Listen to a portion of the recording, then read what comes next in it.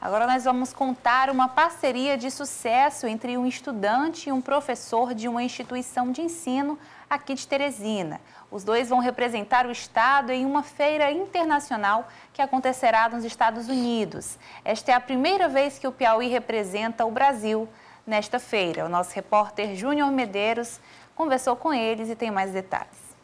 Representar o Piauí. Este é o desafio para o estudante Gonçalo Ponte, do segundo ano do ensino médio, e do professor Vitor Eduardo. A parceria entre aluno e professor fez com que o projeto do estudante recebesse premiações durante a 21ª Febrace, a Feira Brasileira de Ciências e Engenharia, que aconteceu em São Paulo.